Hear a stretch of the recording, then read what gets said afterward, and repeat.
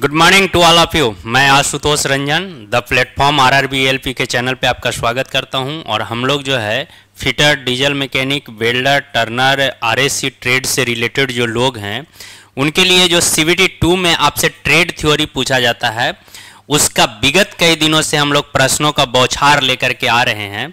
उसी का आज एक नया सीरीज़ है। और आप लोग जानते हैं कि इसमें बहुत सारी चीज़ नए नए चीज़ों को सीखने का मौका मिलता है। अच्छे अच्छे कंसेप्ट हम लोग समझते हैं। कुछ जो आपको याद करने लायक चीज़ होता है, उसको हमने ट्रिक से भी बताने का कोशिश किया है कि कैसे आपको उसको याद करना है।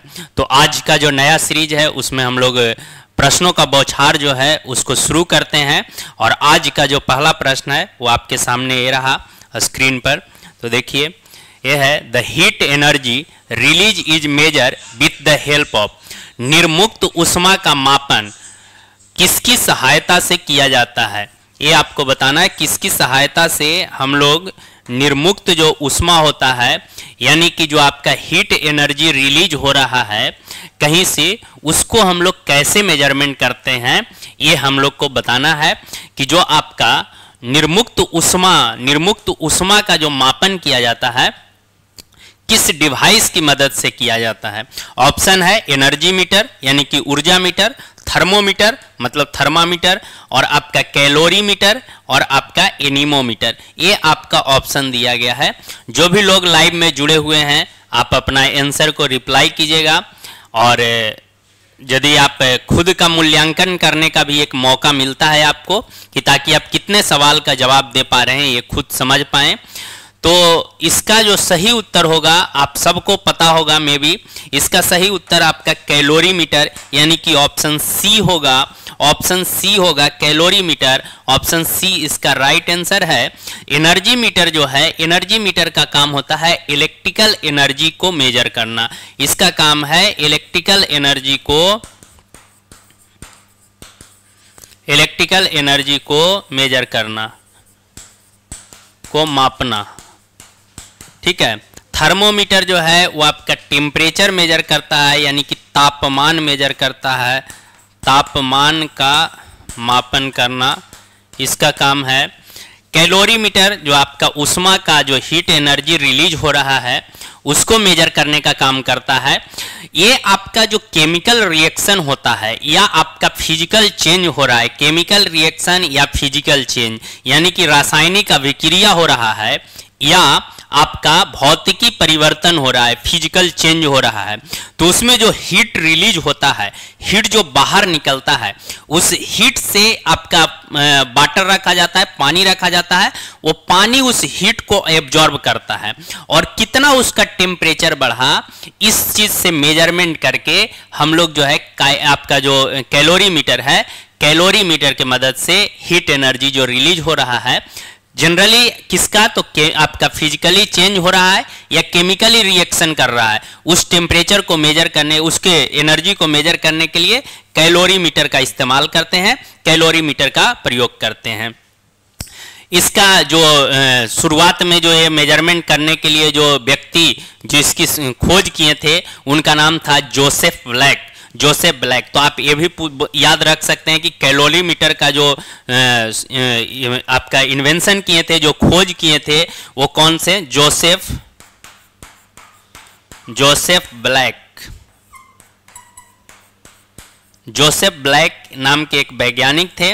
उन्होंने ही आपका कैलोरी मीटर का इस्तेमाल किया था आपका मेज़रमेंट करने के लिए इसका इन्वेंशन किया था, खोज किया था। एनिमोमीटर है एनिमोमीटर आपका वेलोसिटी एयर के वेलोसिटी को मेजर किया जाता है, यानी कि वायु के वेग को मेजर किया जाता है। वायु के वेग को, वायु के वेग को मेजर किया जाता है, यानी कि velocity of velocity of air air की वेलोसिटी को मेजर करने के लिए हम लोग एनीमोमीटर का इस्तेमाल करते हैं। तो ये आप समझ गए हैं, याद भी होगा तो और बेहतर है। और जो भी लाइव में जुड़े हुए हैं, वो लोग रिप्लाई कीजिएगा और वीडियो को लाइक और शेयर कीजिए। ज़्यादा से ज़्यादा लोगों तक शेयर कीजिए इसको। देखिए, अगला सवाल है आपका। The instrument use for measuring air pressure is called वायु दाब को मापने के यंत्र को कहते हैं। हमने आपको बार बार ये बात बताया है कि ये जो भी सवाल रहता है, आपके ट्रेड से रिलेटेड जहाँ कहीं भी परीक्षा हुआ है, उस सब जगह कहीं ना कहीं का ये पूछा हुआ सवाल को लेकर के ही हम लोग आते हैं। चाहे आईओएफ फिटर का ये सवाल है जो आपको दिख रहा है आरआरबी का सवाल होता है डीएमआरसी का यानी कि दिल्ली मेट्रो का आईओ आईओएफ का मतलब होता है इंडियन ऑर्डिनेंस फैक्ट्री का सवाल है, या भेल सेल गेल जो भी आपकी नवरत्न कंपनियाँ हैं, उससे सवाल पूछा गया जो सवाल रहता है, उसी सवाल को लेकर के हम लोग अक्सर यहाँ पे आते हैं। तो आपसे पूछ रहा है कि आपका एयर की प्रेशर, एयर प्रेशर मेज़रमेंट करने के लिए वायु दाब को मापने के लिए किस यंत्र का किस इंस्ट्रूमेंट का, किस डिवाइस का उपयोग करते हैं? क्या वो एनीमोमीटर होता है? अभी हमने आपको बताया कि एनीमोमीटर जो होता है, वो आपका एयर के वेलोसिटी को मेजर करता है, यानी कि वायु के वेग को मेज़रमेंट करता है। कितनी वेलोसिटी से वायु आगे बढ़ रहा है, ये आपको मेज़रमेंट करता है। बैरोमीटर है हाइग्रोमीटर है, थर्मामीटर है। तो आप जो है, इसका सही उत्तर जो है, वो आपका बी इसका राइट आंसर है बैरोमीटर। यदि आप जानते हैं तो रिप्लाई कीजिए। एनीमोमीटर आप जान रहे हैं कि वायु के वायु के बेग को मेजर करता है। वायु के बेग को मेजर करता है। बैरोमीटर आपका प्रेशर को एयर प्रेशर को, यानी कि वायु दाब को मेजर करता है। वायु दाब को मेजर करता है, जो आपसे पूछा गया, हाइग्रोमीटर जो है, वो आपका ह्यूमिडिटी को, एटमोस्फेरिक एटमोस्फेरिक ह्यूमिडिटी को।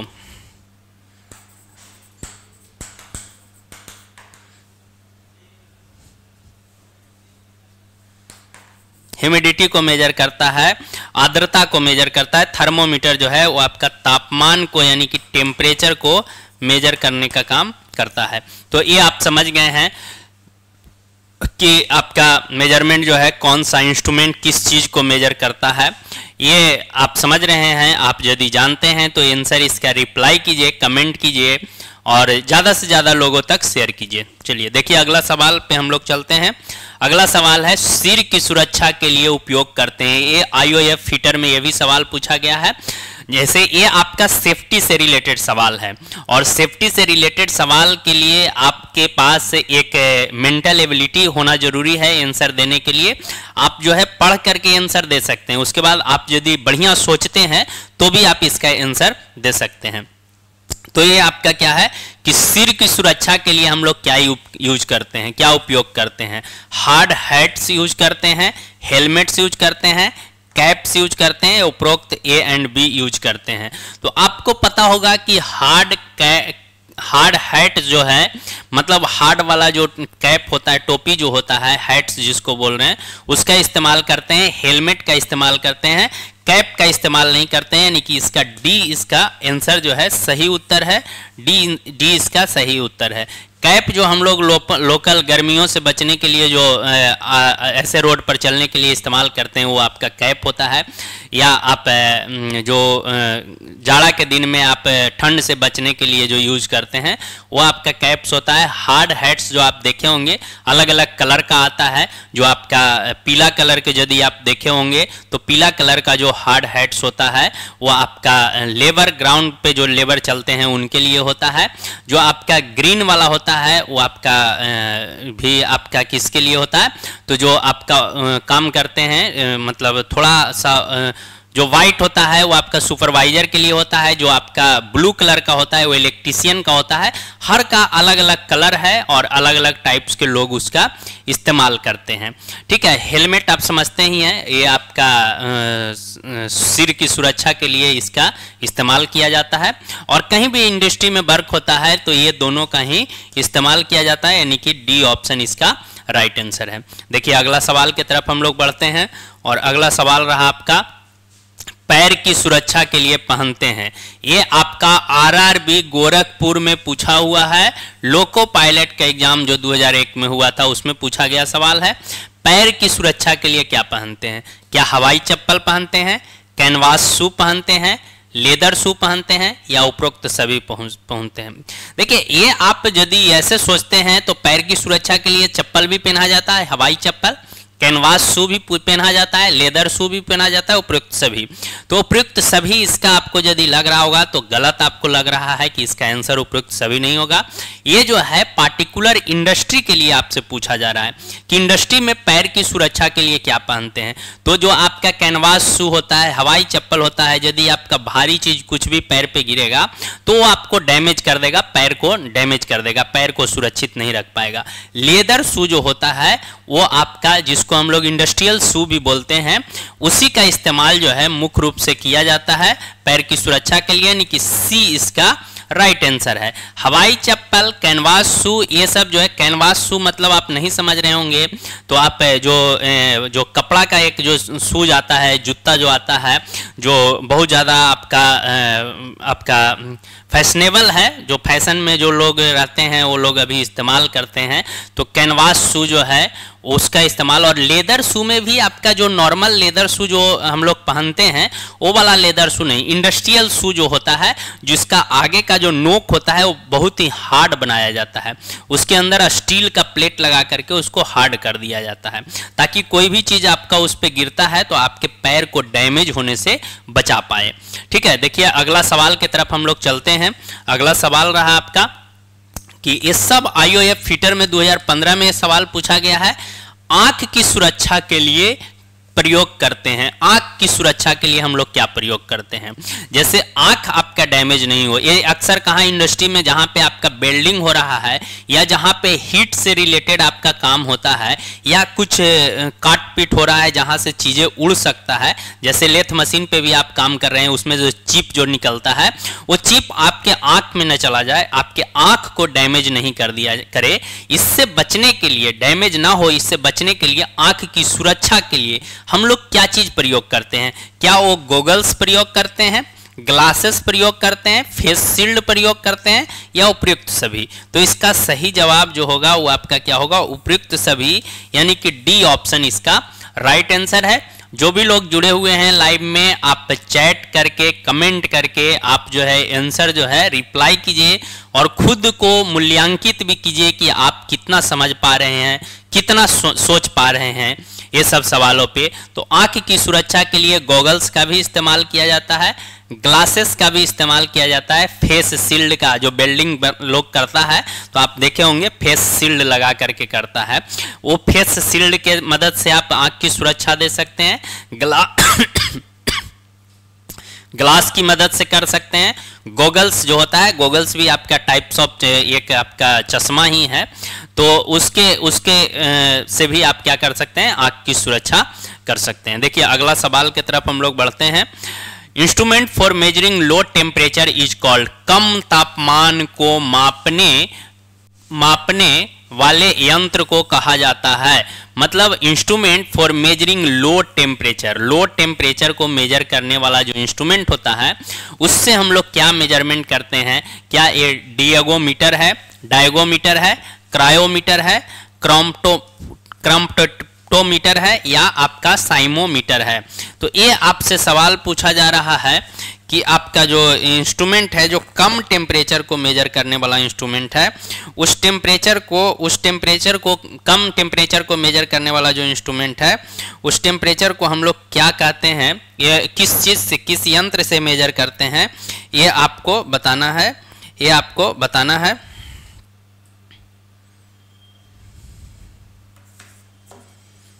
तो आपको जवाब देना है कि कौन सा यंत्र जो है जिससे लो टेम्परेचर को मेज़रमेंट करते हैं। लो टेम्परेचर जो मेजर करने के लिए जो हम लोग इंस्ट्रूमेंट यूज़ करते हैं, वो आपका क्रायोमीटर का इस्तेमाल करते हैं, यानी कि ऑप्शन बी इसका राइट आंसर है ऑप्शन बी इसका राइट आंसर है। डायगोमीटर जो इंस्ट्रूमेंट होता है, ये भी आपका एक इंस्ट्रूमेंट है और इस इंस्ट्रूमेंट का उपयोग हम लोग करते हैं इलेक्ट्रिकल कंडक्टिविटी को मेजर करने के लिए। इलेक्ट्रिकल कंडक्टिविटी को मेजर करने के लिए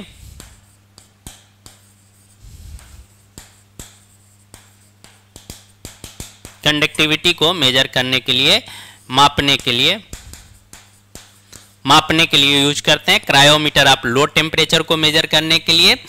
आपका क्रेम क्रेमटो क्रेम्प्टोमीटर जो है क्रेम्प्टोप्टोमीटर जो है, इसका इस्तेमाल हम लोग करते हैं कलर परसेप्शन को मेजर करने के लिए, वर्ण विभेदी को मापने के लिए।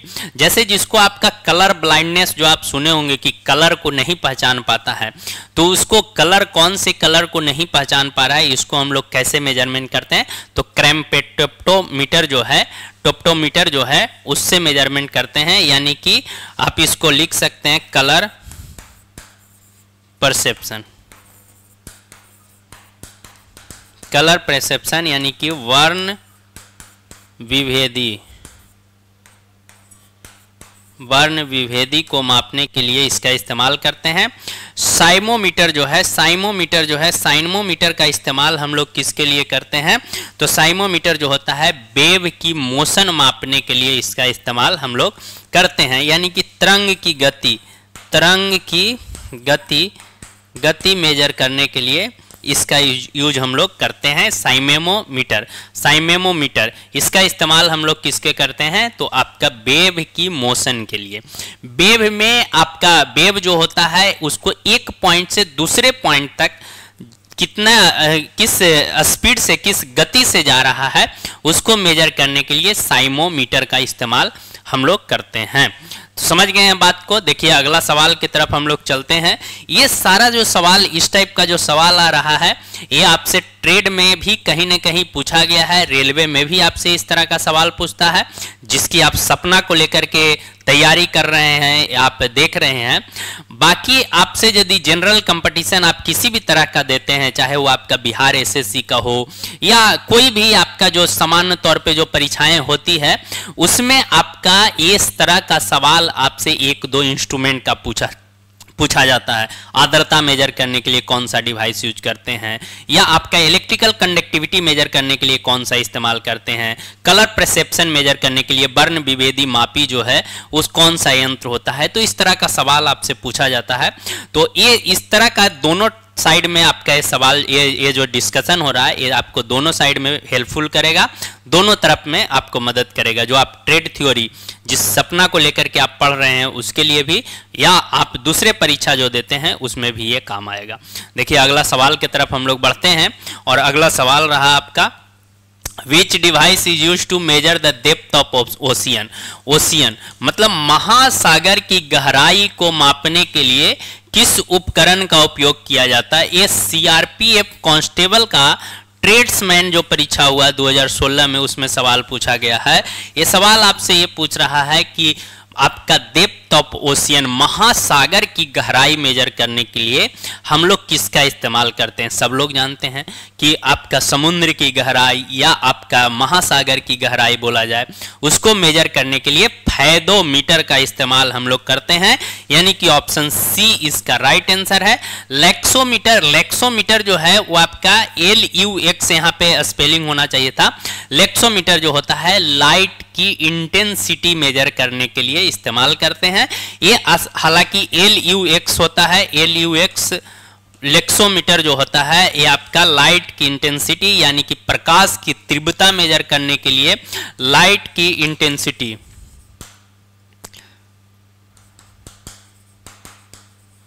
लाइट की इंटेंसिटी मेजर करने के लिए, यानी कि प्रकाश की तीव्रता मेजर करने के लिए नैनोमीटर जो होता है, वो आपका दूरी को रिप्रेजेंट करने का टेन के पावर माइनस नाइन मीटर को ये रिप्रेजेंट करता है, इससे हम लोग मेज़रमेंट करते हैं।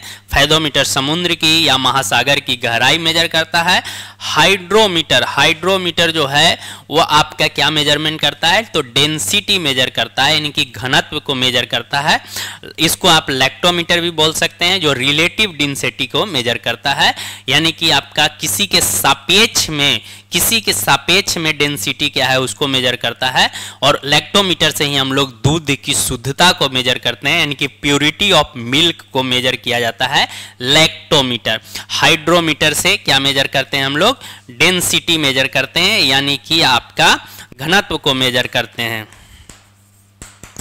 डेंसिटी मापने के लिए हम लोग हाइड्रोमीटर का इस्तेमाल करते हैं. समझ रहे हैं बात को? आगे बढ़ा जाए. अगला सवाल की तरफ़ हम लोग चलते हैं. अगला सवाल है आपसे. प्रिक, प्रिंक पंच, प्रिक पंच का प्रयोग किया जाता है।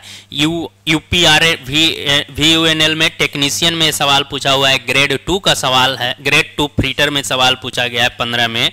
For enlarging the mark mark चिन्ह को बड़ा करने हेतु या to make a small mark छोटे चिन्ह बनाने के लिए या विथ सेंटर पर, केंद्र पंच के साथ में या फॉर मशीनिंग वर्क मशीनिंग कार्य हेतु। अब प्रिंग पंच जो होता है, सबसे पहले हम लोग चर्चा करेंगे पंच पे। पंच क्या होता है? तो पंच एक आपका मार्किंग डिवाइस है। और कैसा मार्किंग डिवाइस है? तो परमानेंट मार्किंग डिवाइस है। जैसे कहीं पे आपको होल करना है तो होल करने के लिए हम लोग मेज़रमेंट करके पहले उसको मार्क कर लेते हैं। तो पहले हम लोग टेम्प्रोरी बेसिस पे भी मार्क करते हैं, जिसके लिए मार्किंग मीडिया हम लोग इस्तेमाल करते हैं, जिसमें white wash prussian blue copper sulphate ये सब आता है। इसका घोल से हम लोग वर्कपीस को रंग देते हैं और रंगने के बाद वहाँ पे मार्क करते हैं। लेकिन यदि ये ये चीज़ जो होता है टेम्प्रोरी मार्किंग जो होता है, वो मिट जाता है, खराब हो जाता है। तो उससे बचने के लिए हम लोग क्या करते हैं? मार्क करते हैं। जैसे आप सपोज़ कीजिए, आप आप देखे होंगे मार्किंग करते हुए, जैसे आप शर्ट शर्ट सिलवाने के लिए आप टेलर मास्टर के पास गए हैं और टेलर मास्टर के पास आप जो है रेक्टेंगुलर में शर्ट का कपड़ा आप देते हैं या पैंट का कपड़ा आप देते हैं तो आप यदि उसको सीते हुए देखे होंगे तो आपके नाप के अनुसार वो क्या करता है? पहले मार्क करता है पार्सियन ब्लू से वो आपको टिक आउट कर देता है, कैसे कैसे कट करना है। और कट करने के बाद उसको क्या करता है? उसी अनुसार उसको कट करता है और कट करने के बाद आपको फोल्ड करके, सीसा करके आपका कपड़ा को तैयार करता है। जस्ट लाइक मैकेनिकल वर्क में, जैसे आप काम करते हैं, कहीं पे भी तो आपके पास सीट आता है, या आपके पास कोई भी लोहा का आपके पास वर्क पीस आया है आयरन आया है, किसी भी मेटल का आया है तो उसमें आपको मार्किंग करना ज़रूरी होता है। मार्किंग करने के बाद ही आप कट करके आप अपना वर्क पीस को निकाल सकते हैं, आप अपने जो जॉब है, जो जिसका आप इस्तेमाल कीजिएगा, उसको आप निकाल सकते हैं। तो उस जॉब को हम लोग क्या करते हैं? उस जॉब को हम लोग जो मार्किंग करने के लिए, जो हम लोग परमानेंट मार्क करने के लिए जो हम लोग इस्तेमाल करते हैं, वह आपका पंच का इस्तेमाल करते हैं। तो पंच में सेंटर पंच होता है, जो होल को मार्क करने के लिए जनरली इस्तेमाल किया जाता है। उसके बाद प्रिक पंच होता है डॉट पंच होता है, ये आपका तरह तरह का पंच होता है। तो हर किसी का पंच का जो एंगल होता है, वो अलग अलग होता है। तो ये जो आपका प्रिंक पंच जो होता है प्रिंक पंच जो होता है उसका इस्तेमाल हम लोग करते हैं। To make a small mark छोटे चिन्ह बनाने के लिए हल्का चिन्ह बनाना है तो इसके लिए हम लोग इसका इस्तेमाल करते हैं, यानी कि बी इसका राइट आंसर है। ठीक है? इनलार्जिंग द मार्क मार्क को बड़ा करने के लिए हम लोग सेंटर पंच का ही इस्तेमाल करते हैं। सेंटर के लिए सेंटर पंच का इस्तेमाल करते हैं। मशीनिंग कार्य के लिए ज़रूरी नहीं है, जो भी ज़रूरत है, उसको हम लोग इस्तेमाल करते हैं। सेंटर पंच का भी इस्तेमाल मशीनिंग कार्य में करते हैं। प्रिक पंच का भी करते हैं। डॉट पंच का भी हम लोग करते हैं। ठीक है? तो ये आपका, इसका सही उत्तर आपका बी हो जाएगा, यानी कि to make a small mark छोटे चिन्ह बनाने के लिए प्रिंक पंच का इस्तेमाल हम लोग करते हैं प्रिंक पंच का इस्तेमाल हम लोग करते हैं। ठीक है, देखिए, अगला सवाल की तरफ़ हम लोग बढ़ते हैं और ये रहा आपका अगला सवाल। Centre punch point has an angle usually in degree degree में बताना है, केंद्रक पंच की नोक का कौन सामान्यता होता है। डिग्री में आपको बताना है, ये आपका सवाल पूछा हुआ है। 30 या 120 यानी कि 30 और 120 डिग्री, यानी कि 15 या 75 यानी कि 15 या 75 डिग्री 60 और 90 डिग्री 60 और 90 डिग्री 30 45 30 45 डिग्री। तो आपको बताना यह है कि सेंटर पंच का जो एंगल होता है, वो आपका कितना डिग्री का होता है? तो सेंटर पंच जो होता है, कुछ इस तरह का सेंटर पंच होता है, जिसपे हम लोग पंचिंग करते हैं तो इसका जो एंगल होता है ना, इसका जो एंगल होता है, वो आपका जनरली जो होता है 90 डिग्री का ऐसे रहता है, लेकिन ज़रूरत के हिसाब से 60 डिग्री का भी बनाया जाता है। यानी कि आप कह सकते हैं कि 60 डिग्री टू 60 डिग्री या 90 डिग्री या 90 डिग्री। तो इसका सही उत्तर क्या हो जाएगा आपका? सही उत्तर क्या हो जाएगा? सी इसका राइट आंसर है। सी इसका राइट आंसर है। लेकिन इससे पहले वाला सवाल की यदि हम लोग बात करें, ये सवाल आप समझ गए होंगे तो इस सवाल में यदि हम लोग देखें प्रिंक पंच का एंगल कितना होता है? यदि इसमें आपसे पूछा जाए कि एंगल इसका कितना होता है तो इसका एंगल जो होता है, तीस डिग्री का एंगल होता है। 30 डिग्री का एंगल होता है, इस बात को आपको याद रखना है, इस बात को आपको याद रखना है। सेंटर पंच का जो एंगल होता है, वो आपको पता हो गया, सेंटर पंच का 60 डिग्री या 90 डिग्री होता है। चलते हैं हम लोग अगले सवाल के तरफ़, अगले सवाल के तरफ़ हम लोग बढ़ते हैं। देखिए, अगला सवाल रहा, डॉट पंच का उपयोग किसके लिए किया जाता है? ये डीएमआरसी मेंटेनर में, फीटर में 2017 में सवाल पूछा गया है।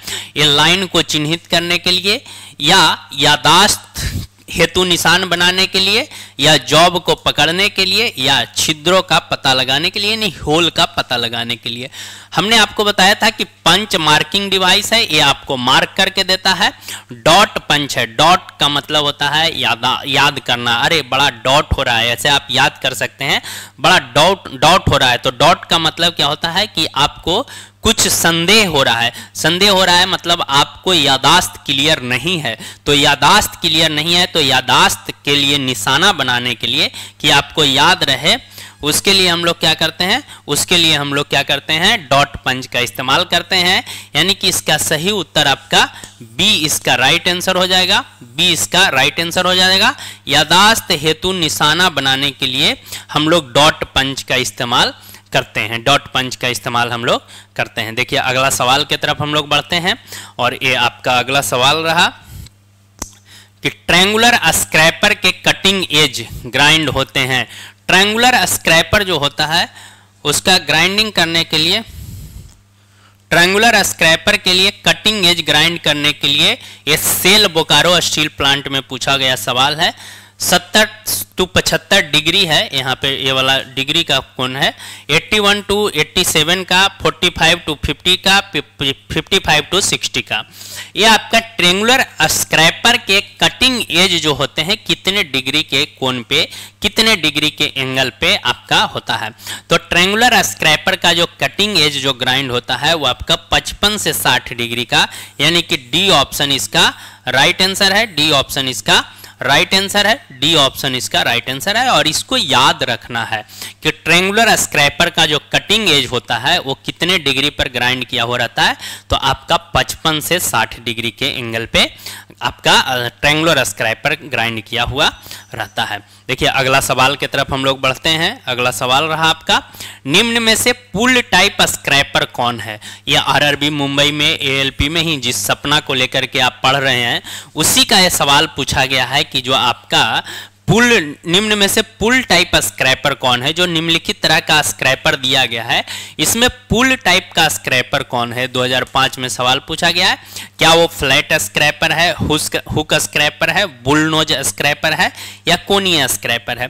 तो देखिए हुक हुक स्क्रैपर स्क्रैपर जो होता है, यानी कि बी ऑप्शन इसका राइट आंसर है, ये आपका पुल टाइप होता है। पुल टाइप में आपका जो हुक टाइप के जो ये हुक बना हुआ रहता है आगे वाला, ये 90 डिग्री के एंगल पर रहता है 90 डिग्री के एंगल पर रहता है, और इसको हम लोग पुल करके पुल करके हम लोग इसका इस्तेमाल करते हैं। दो वर्ड इंग्लिश में होता है पुल और एक पुश तो पुश मतलब धक्का देना होता है, पुल मतलब खींचना होता है। तो इससे खींच करके हम लोग क्या करते हैं, खींचने वाला से हम लोग स्क्रैप करते हैं मतलब ऐसे लगा करके, ऐसे ऐसे खींचा जाता है। जैसे इसका बनावट है, ये हैंडल को पकड़ करके, ऐसे ऐसे खींच करके, जो भी उस पर अनवांटेड चीज़ होता है, उसको निकाल करके, जैसे आप बिल्डिंग वगैरह करते हैं तो बिल्डिंग में आप देखते होंगे आसपास में आपका छोटा छोटा डॉट टाइप के पड़ जाता है। तो उसको कबाड़ना रहता है, उसको हटाना रहता है। आप फिनिश प्रोडक्ट देखे होंगे तो उसको हटाने के लिए हम लोग किसका इस्तेमाल करते हैं? स्क्रैपर का इस्तेमाल करते हैं। ठीक है, या कोई भी प्रक्रिया होता है, मशीनिंग होता है, जहाँ से आपको मटेरियल जो है ज़्यादा डिपॉजिट हो गया है उसको हटाना है तो उसके लिए हम लोग स्क्रैपर का इस्तेमाल करते हैं। बात क्लियर समझ गए हैं? देखिए, अगला सवाल की तरफ़ हम लोग चलते हैं और ट्राई स्क्वायर का प्रयोग कहाँ किया जाता है? ये भी आपका आरआरबी गोरख, गोरखपुर में सवाल पूछा गया है 2003 में। 45 डिग्री जांचने के लिए 45 टू 90 डिग्री जांचने के लिए 90 डिग्री कोण जांचने के लिए इनमें से कोई नहीं। तो ट्राई स्क्वायर जो होता है, ट्राई स्क्वायर का इस्तेमाल जो किया जाता है 90 डिग्री के कोण जांचने के लिए इसका इस्तेमाल हम लोग करते हैं। 90 डिग्री का कोण जांचने के लिए हम लोग इसका इस्तेमाल करते हैं। 90 डिग्री का कोण जांचने के लिए इसका इस्तेमाल ऐसे बना हुआ रहता है, यहाँ पे छोटा सा एक खाचा छोड़ा हुआ रहता है, खाचा छोड़ा हुआ रहता है, ऐसे।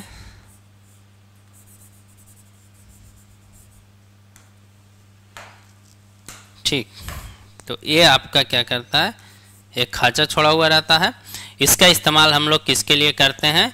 तो इसका यहाँ पे 90 डिग्री का एंगल होता है और कोई भी वर्क पीस आपके पास है तो इस वर्क पीस का 90 डिग्री चेक करने के लिए इस वर्कपीस का ये वाला कोन को 90 डिग्री चेक करने के लिए हम लोग इसका इस्तेमाल करते हैं ट्राई स्क्वायर इसका नाम होता है।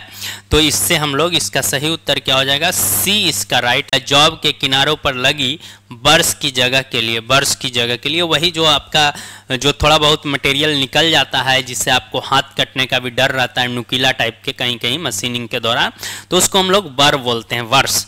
तो ये आपका वर के लिए, किसके लिए वो आपका अंडर कट दिया जाता है? मतलब अंदर में थोड़ा सा कट किया हुआ रहता है। इसका क्या कारण है?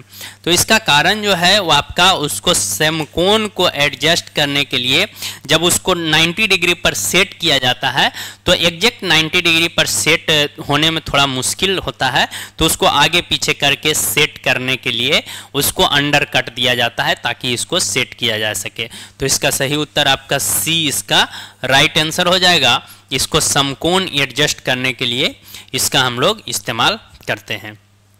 देखिए, अगला सवाल की तरफ़ हम लोग बढ़ते हैं और अगला सवाल रहा आपका ये कि for mass production inspection of job is done by mass production में जॉब का निरीक्षण किसके द्वारा होता है? ये ये भी आपका आईओएफ फिटर में पूछा गया सवाल है। क्या मास प्रोडक्शन का मतलब पहले आपको समझना है? मास प्रोडक्शन का मतलब क्या हो रहा है? मास प्रोडक्शन का मतलब हो रहा है कि सिमिलर टाइप का प्रोडक्ट बहुत सारे मात्रा में बनाया जा रहा है। उसको हम लोग क्या बोलेंगे? मास प्रोडक्शन बोलेंगे। यदि कोई सिमिलर टाइप का प्रोडक्ट है, बहुत सारे अमाउंट में, बहुत सारे मात्रा में बनाया जा रहा है तो उसको हम लोग मास प्रोडक्शन बोलेंगे। जैसे आप मान लिया जाए आप पेन बना रहा है तो पेन जो है वो मास प्रोडक्शन का चीज़ है। उसी तरह से बहुत सारा ऐसा चीज़ है जो मास प्रोडक्शन लेकिन पार्टिकुलर जो होता है, जिसको कहीं हम यूज़ करना चाहते हैं और हम स्पेशल उसका मटेरियल का स्पेशल उसका लेंथ का स्पेशल विथ का स्पेशल डायामीटर का मतलब कोई भी चीज़ चेंज करके हम बनाते हैं। जैसे पेन सब लोग जो है, वो आपका जो हम लोग पेन जो यूज़ करते हैं, कोई भी राइटोमीटर का या अग्नि जेल जो आप यूज़ करते हैं या फोर यूज़ करते हैं या जो भी वाट जो पेन यूज़ करते हैं आप रिनोल्ड्स का पेन यूज़ करते हैं, कोई भी पेन यूज़ करते हैं। तो उस पेन को आपके लिए स्पेशल नहीं बनाया गया है। उसको कोई भी व्यक्ति खरीद सकता है और सबके लिए वो पेन काम करता है। लेकिन हम पार्टिकुलर वही पेन दूसरे मटेरियल का बनवाना चाह रहे हैं। जैसे आप कोई प्रिसाइज मटेरियल का बनाना चाहते हैं प्रिसीजन मटेरियल का बनाना चाहते हैं। जैसे मान लिया लोहा, आप उसको सिल्वर का बनवाना चाह रहे हैं गोल्ड का बनवाना चाह रहे हैं या कॉपर का बनवाना चाह रहे हैं। किसी अलग मटेरियल का बनवाना चाह रहे हैं या अलग डायामीटर करके बनवाना चाह रहे हैं तो वो आपका पार्ट प्रोडक्शन हो जाएगा। लेकिन जो आपका सिमिलर टाइप का प्रोडक्ट बहुत सारे मात्रा में बनाया जा रहा है तो उसको हम लोग मास प्रोडक्शन कहते हैं। अब मास प्रोडक्शन में जो चीज़ें बनता है, उसमें चीज़ों को मेजर करने के लिए आपको क्या करना है? फास्ट मेज़रमेंट करना रहता है। मतलब आप एक लाख पीस, दो लाख पीस बन रहा है तो दो लाख पीस को मेजर करना रहता है। तो दो लाख पीस को मेजर करने के लिए हर का समान डायामीटर है, समान लेंथ है, समान विथ है तो उसको मेज़रमेंट करने के लिए हम लोग क्या करते हैं? गेज का इस्तेमाल करते हैं। तो इसको हम लोग क्या बोलते हैं? गेज मास प्रोडक्शन में जो यूज़ किया जाता है गेज का इस्तेमाल किया जाता है ये वाला इसका सही आंसर है। मेजरिंग इंस्ट्रूमेंट यानी कि मेजरिंग इंस्ट्रूमेंट से कर तो सकते हैं, लेकिन बहुत ज़्यादा समय लगेगा, बहुत ज़्यादा आपको कॉस्ट उसके लिए पे करना पड़ेगा। टेम्पलेट टेम्पलेट मार्किंग करने के लिए इस्तेमाल करते हैं। जिग जो है, वो आपका होल्डिंग डिवाइस है। जिग जो है वर्कपीस को होल्ड करना और गाइड करना। टेम्पलेट जो है, इसका इस्तेमाल मार्किंग में करते हैं। मार्किंग करने के लिए, मार्किंग करने के लिए करते हैं। मार्किंग करने के लिए करते हैं। और जिग जो होता है, वो आपका वर्क पीस और टूल को वर्क पीस को होल्ड और टूल को गाइड करने वाला डिवाइस है। वर्क पीस को वर्क पीस को होल्ड तथा टूल को गाइड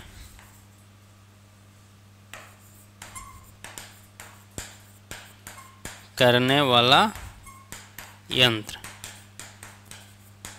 यंत्र है। जिग जो है वो आपका वर्कपीस को होल्ड करेगा और टूल को गाइड करेगा। जिग के साथ एक और बड़ा आता है फिक्सर फिक्सर का काम है सिर्फ़ वर्कपीस को होल्ड करना। उसका काम टूल को गाइड करना नहीं है। लेकिन जिग का काम है आपका क्या? वर्कपीस को होल्ड भी करेगा और टूल को गाइड भी करेगा। टूल को गाइड भी करेगा। हर हर वर्क पीस के लिए, हर जॉब के लिए आपको जिग अलग अलग टाइप का बनाना पड़ेगा। तो जिग का बहुत सारा टाइप्स होता है।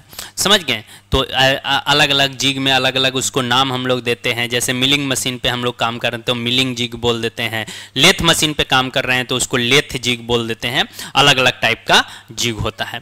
तो ये आपका अगला सवाल, को देखिए, अगला सवाल रहा आपका लिमिट प्लग गेज के गो सिरे का ब्यास बराबर होता है।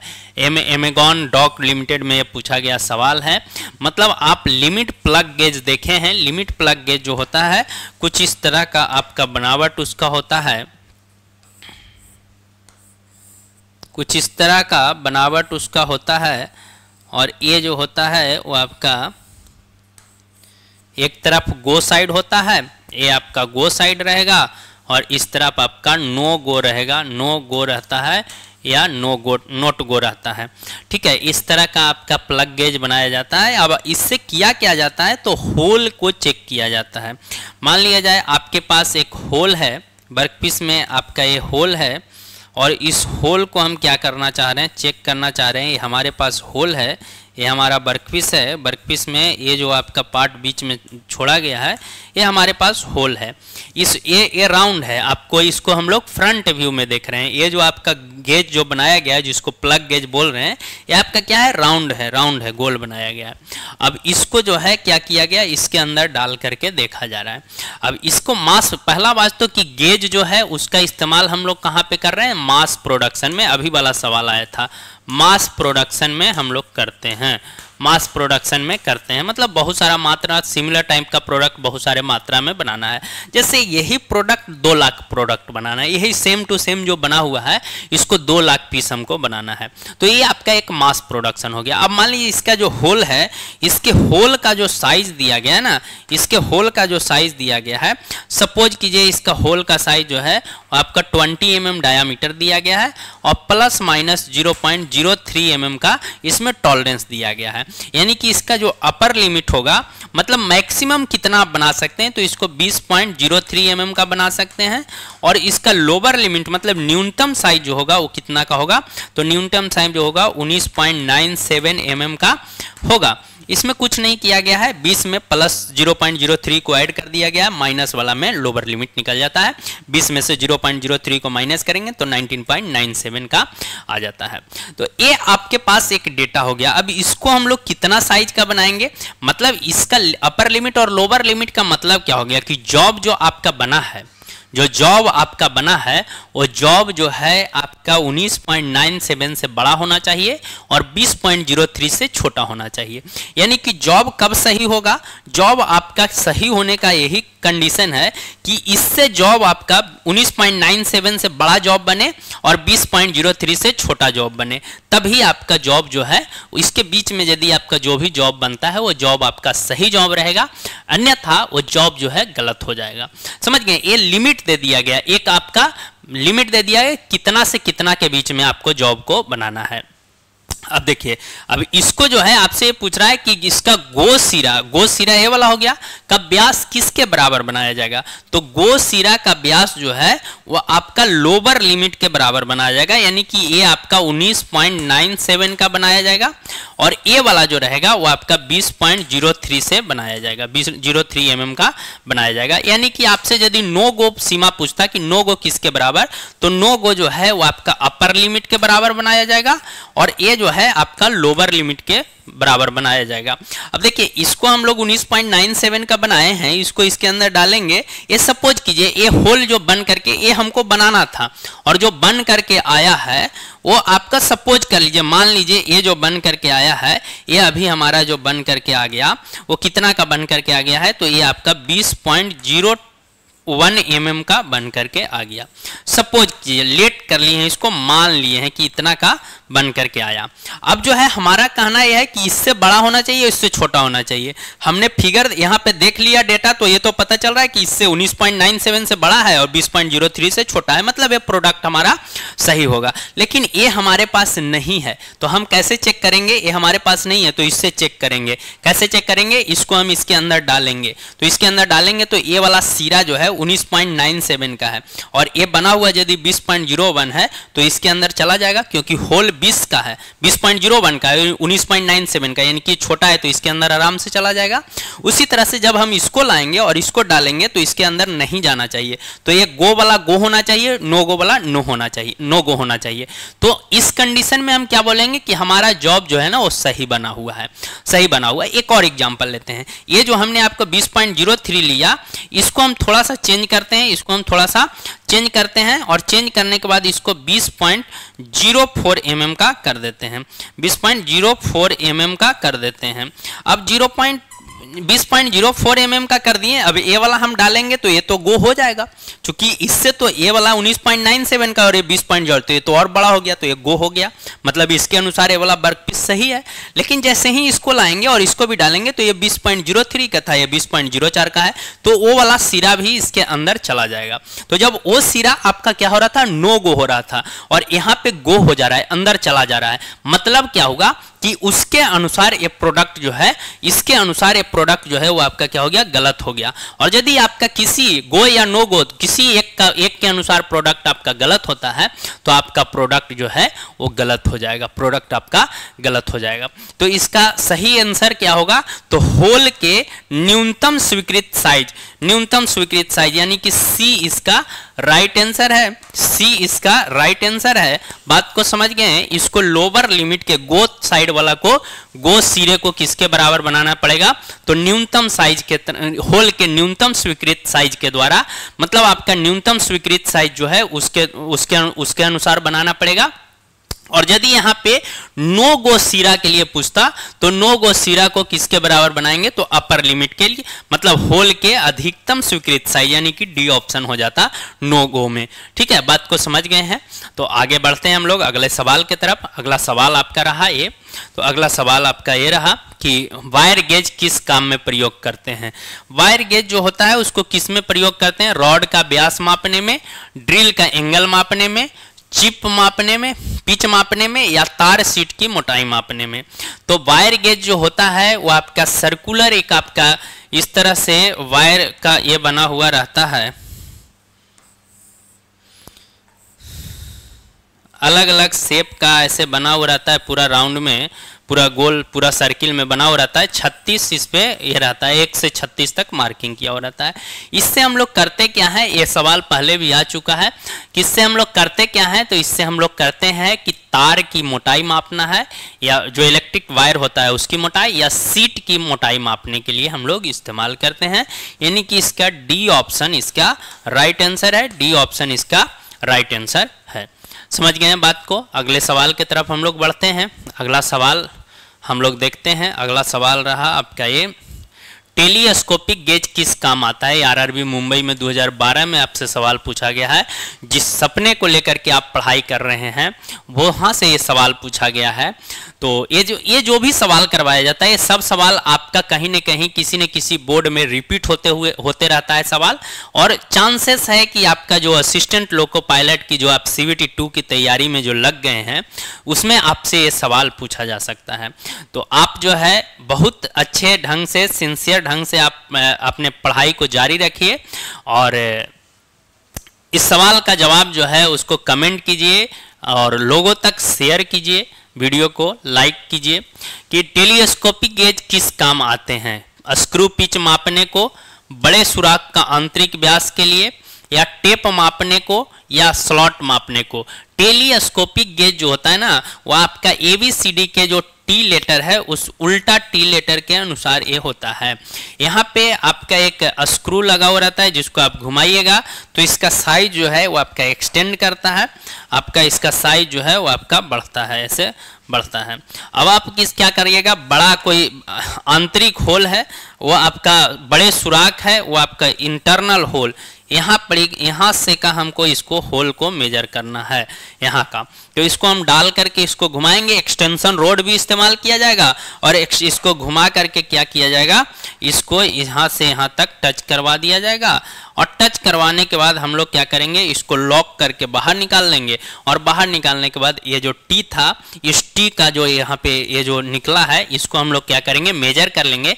तो इसका हम लोग को क्या करेगा, डाया पता चल जाएगा डायामीटर यानी कि इसका सही उत्तर क्या हो जाएगा कि बड़े सुराख की, बड़े सुराख का बड़े सुराखों का आंतरिक व्यास मापने के लिए टेलीस्कोपिक गेज का हम लोग इस्तेमाल करते हैं। यानी कि जो आपका सुराख है मतलब जो आपका होल है, उसके इंटरनल डायामीटर को मेजर करने के लिए बड़े होल के इंटरनल डायामीटर को मतलब आपका लार्ज होल के इंटरनल डाया को मेजर करने के लिए टेलियोस्कोपिक गेज का इस्तेमाल किया जाता है टेलियोस्कोपिक गेज का प्रयोग किया जाता है। देखिए, अगला सवाल की तरफ़ हम लोग बढ़ते हैं। अगला सवाल रहा आपका, बार्नियर बेबल प्रोटेक्टर किस सिद्धांत पर कार्य करता है? ये कोल इंडिया में पूछा गया सवाल है, फिटर का 2013 में। तो ये आपका बार्नियर बेबल प्रोटेक्टर का सिद्धांत क्या है? किस सिद्धांत पे ये कार्य करता है, ये आपको बताना है। क्या ये नट बोल्ट के सिद्धांत पे काम करता है, या स्क्रू थ्रेड के सिद्धांत पे काम करता है, या दो स्केल के अंतर पर करता है, या लीड और पिच के सिद्धांत पर करता है। तो जहाँ भी बार्नियर शब्द आएगा, बार्नियर बेबल प्रोटेक्टर हो, बार्नियर कैलिपर हो, बार्नियर से रिलेटेड बार्नियर हाइट गेज हो, बार्नियर डेप्थ गेज हो, वो सब का सिद्धांत जो होता है, दो स्केल के अंतर पे काम करता है। तो ये आपका सी ऑप्शन इसका राइट आंसर हो जाएगा। नट और बोल्ट के सिद्धांत पे स्क्रू थ्रेड के सिद्धांत पे पिच पे लीड पिच पे, ये सब जो है, आपका माइक्रोमीटर जो होता है, इस सिद्धांत पे काम करता है। इसमें बार्नियर बेवल प्रोटेक्टर से हम लोग एंगल मेज़रमेंट करते हैं, एंगल मेजर करते हैं। एंगल मेजर करने वाला यंत्र है, एंगल मेजर करने वाला यंत्र है, वाला यंत्र है। इससे हम लोग लिस्ट काउंट जो होता है मतलब कितना एक्यूरेसी के साथ हम लोग मेजर कर सकते हैं। लिस्ट काउंट जो होता है, एक बटा में 12 डिग्री, एक बटा में 12 डिग्री, यानी कि या पाँच मिनट का मेज़रमेंट करता है, पाँच मिनट का मेज़रमेंट करता है, छोटा से छोटा। ठीक है तो ये आपका दो स्केल के अंतर के प्रिंसिपल पे, अंतर के सिद्धांत पे ये काम करता है। समझ गए हैं? बार्नियर बेवल प्रोटेक्टर और ये देखिए अगला सवाल। बिल्डिंग प्रकार का फास्टनर है। आरआरबी गोरखपुर में सवाल पूछा है 2001 में पूछा है। क्या बिल्डिंग अस्थाई या अर्धस्थाई या अस्थाई या उपरोक्त सभी? तो बिल्डिंग किस प्रकार का फास्टनर है? फास्टनर का मतलब होता है जोड़ने वाला जोड़ने वाला यंत्र। जोड़ने वाला यंत्र। तो जोड़ने वाला यंत्र जो है, हमने आपको पहले भी बताया है कि जो हम लोग मैकेनिकल इंजीनियरिंग में मैकेनिकल इंडस्ट्री में जो जोड़ते हैं, वो हम लोग तीन तरह से जोड़ते हैं। या तो अस्थाई जोड़ते हैं, या अर्धस्थाई जोड़ते हैं, या अस्थाई जोड़ते हैं। अस्थाई अर्धस्थाई और अस्थाई जो आपके ऑप्शन में भी दिख रहा है। तो इसको हम लोग कैसे डिवाइड करते हैं कि कौन अस्थाई है, कौन अर्धस्थाई है और कौन अस्थाई है? तो अस्थाई का मतलब यह हुआ कि एक बार यदि जुड़ गया, जिसको हम लोग इंग्लिश में परमानेंट बोलते हैं टेम्प्रोरी बोलते हैं और सेमी परमानेंट बोल रहे हैं। ठीक है? तो परमानेंट का मतलब आप समझते हैं कि परमानेंट जॉब है, या परमानेंट काम करता है, ऐसे आप वर्ड सुने होंगे। तो परमानेंट का मतलब क्या होता है भाई? परमानेंट का मतलब क्या होता है कि एक बार लग गया तो अब उसको निकाला नहीं जाएगा। समझ गए? तो वही तरह से जोड़ जो होता है, वो आपका एक बार जुड़ गया तो अब उसको तोड़िएगा तो अब वो टूटने वाला नहीं है। तो बेल्डिंग जो है ना, वो आपका किसमें आता है? तो बेल्डिंग जो है, वो आपका परमानेंट फास्टनिंग डिवाइस में आता है, यानी कि आपका अस्थाई प्रकार का फास्टनर है। तो सबसे पहला बात तो ये हो गया कि इसका उत्तर आपका सी ऑप्शन इसका राइट आंसर हो गया अस्थाई जिसमें आपका बेल्डिंग हो गया ब्रेजिंग हो गया सोल्डरिंग हो गया, ये सब अर्धस्थाई किसको बोलते हैं? अस्थाई किसको बोलते हैं? तो अस्थाई हो गया आपका क्या? जैसे नट और बोल्ट, जिसको हम लोग टेम्प्रोरी बोल रहे हैं। जोड़ना है तो जोड़ दिए, खोलना चाह रहे हैं तो खोल दिए। तो इसमें आपका नट, बोल्ट वगैरह आ जाएगा। अब अर्धस्थाई में क्या आता है? सर, आपसे पूछा जा सकता है कि अर्धस्थाई में क्या होगा? तो अर्धस्थाई में होगा कि आप एक बार जोड़ दिए, लेकिन आप चाहते हैं तो उसको खोल सकते हैं। लेकिन खोलिएगा तो जो जोड़ने वाला जो आपका डिवाइस है ना, वो डिवाइस आपका खराब हो जाएगा, वो यंत्र आपका खराब हो जाएगा। जैसे आप रिपीट किया हुआ चीज़ देखे होंगे, जिसको हम लोग, जो टर्म है रिविट इसको इस्तेमाल बोलते हैं, बोलचाल में हम लोग रिपीट बोल देते हैं, लेकिन उसका सही उच्चारण जो है रिविट होता है R I V I T rivet तो रिविट जो होता है रिविट से आप देखे होंगे, बाल्टी वगैरह को जो स्टील का बाल्टी आता था, उसको सर्कु आपको सर्कुलर ऐसे मोड़ करके और उसमें रिपीट मार दिया जाए रिविट मार दिया जाता था ऐसे। तो वो जो रिविट मारा जाता था, उस रिविट को यदि आप खोलते हैं तो वो रिविट आपका खराब हो जाता था। या ताला देखिए, ताला में भी रिविट मारा हुआ रहता है। आप ताला को यदि दो पार्ट में तोड़ते हैं तो वो रिविट खराब हो जाएगा। बाकी आप फिर से असेंबल करके दूसरे रिपीट को आप मारते हैं तो फिर से जुड़ सकता है। तो यानी कि आपका जो जोड़ने वाला जो यंत्र है, जोड़ने वाला जो डिवाइस है, वो खराब हो रहा है। बाकी आपका इंस्ट्रूमेंट जो है, उसको फिर से आप जोड़ सकते हैं। तो उसको हम लोग क्या बोलते हैं? अर्धस्थाई में रखते हैं। तो अस्थाई में अस्थाई में क्या आ जाएगा? अस्थाई में नट और बोल्ट आ जाएगा। नट और बोल्ट और बोल्ट ठीक है? अर्धस्थाई में क्या हो जाएगा? रिविट रिविट, ये हो जाएगा, अस्थाई में क्या हो जाएगा बिल्डिंग समझ गए? तो ये सब आपका आता है। तो ये आपका सही उत्तर क्या हो जाएगा, वो आप समझ गए हैं। और ये आपका आज का लास्ट सवाल था।